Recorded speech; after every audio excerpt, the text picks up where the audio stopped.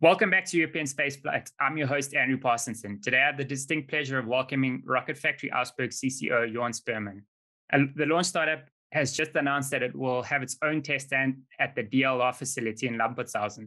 Jorn, uh, would you mind explaining a bit more about this announcement and what it means for RFA? No, absolutely. For us, it's a great deal that we will have a second test site in place uh, to test our rocket engines. So essentially, we have the test site in Sweden that we will continue to use. And now we have also another site which is much closer to RFA, obviously. It's just a three hours driving distance from here and gives us a lot of more capacity to run through development tests and acceptance testing in the future to realize our high cadence of launches that we are after. Perfect. And and when is the the new test stand going to be ready? Uh, when is the first test on it going to be uh, occurring? Yeah, DLR needs to do, do a bit on infrastructure side now, which they intend to complete by mid of next year. So then we can start installing our test stand and the infrastructures around it. So I would say towards the end of next year is probably a good guess on how to complete it. With typical delays that you have on infrastructure projects, uh, I wouldn't plan for anything earlier than that. Yeah, perfect. Um, in terms of the work you're going to be doing on the test, and what kind of tests will you be doing? Is it just engine tests? Are you going to be doing integrated stage tests? What kind of tests? Yeah, it's essentially for engine tests. So the Helix engine that we're testing right now in Kiruna to do that there. The stage testing of the upper stage um, will continue to happen in Kiruna at Esrange.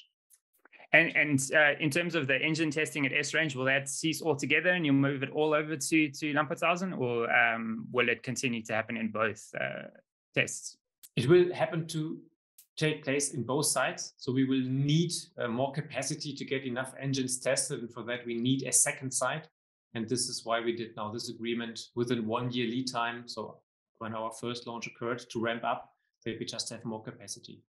Perfect. In in terms of of ramping up to to that maiden launch, um, the maiden launch is currently targeted for Q4 2023. Mm-hmm. Does that represent a, a, slip in your timeline, or is that still pretty much uh, on uh, timeline for you? Nice, very good, very good question, Andrew. Um, I'd say there's nothing more fluent than a, a launch date with a micro launcher company or with any launch company. Essentially, you see the same on um, even on the on the SLS, right, in the Artemis program in the US. Um, it will it is a current plan to do it next year end of next year um, but as you are aware there's a development program in between um, stage tests are upcoming they bear a lot of risk um, when everything goes well end of next year is realistic the rest we have to see how things evolve Perfect. Um, and in terms of, you talked about those stage testing. Um, you recently unveiled the first RFA one second stage, uh, the complete stage. Um, is this a flight version of the stage or is this still an early prototype?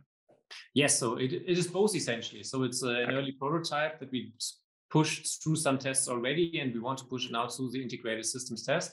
And uh, when it's still possible to use thereafter, we want to fly it. Absolutely. Okay, perfect. Will there need to be any um, modifications, updates, changes to it to uh, shift it from a test version to a, flight version? I mean, I know obviously the the engine bell will be different, but is, there any other uh, changes that will need, need to be made? Yeah, you answered the question already. Exactly. So the nozzle actually has definitely to change. Um, beyond that, there will be a few maintenance and refurbishment activities to make it fit for flight, but uh, nothing big. Okay, perfect. And in terms of that second stage testing, um, do you have a timeline for for us in, in terms of are you looking to do it by the end of the year, beginning of next year? Yeah, as you've seen, it's uh, the beauty moved already to Sweden, and uh, yeah, the plan is to start and do the testing this year. Yeah. That's the ambition and the goal. Everyone is working hard here in the company now. Perfect. And in terms of that that uh, test campaign, I'm guessing it won't just be one hot fire test and then put it back on the truck. It'll be a series of hot fires. Exactly. It will be a sequence of events, um, shorter campaigns initially, um, longer ones to the end. So um, let's see. What we can achieve in which timeline. Perfect. And in terms of once you finish that second test, you'll obviously be uh, working towards a, a, first stage hot fire test. Yeah. Mm-hmm. Um, I'm guessing you're currently in the process of building that stage. Um, when is that likely to happen? When is the stage likely to be ready? And when is that uh, test likely to happen? Yeah, there's interesting things coming. You know that we selected a, a launch site, and uh, with that, um, the pad has been completed already, and our infrastructure is partly ready. So there will be some exciting announcements upcoming soon with uh, more beautiful, nice images. That uh, first stage test shall actually happen towards the mid of next year. So it's uh, still a lot of things to do on the hardware side here, but also on the infrastructure side at the test site. So uh, it's keeping us busy too. What What are the main things that you still need to do? I mean, engines obviously you need nine of them, yeah. so there's a lot of them to do. Is that the, the primary um, uh, task that you need to perform between now and the middle of next year? Yeah, essentially um, three things I would say. So on one hand side, the stage itself, so it's in the facility and being equipped while we speak, has to go through a couple of tests uh, until we can run the test.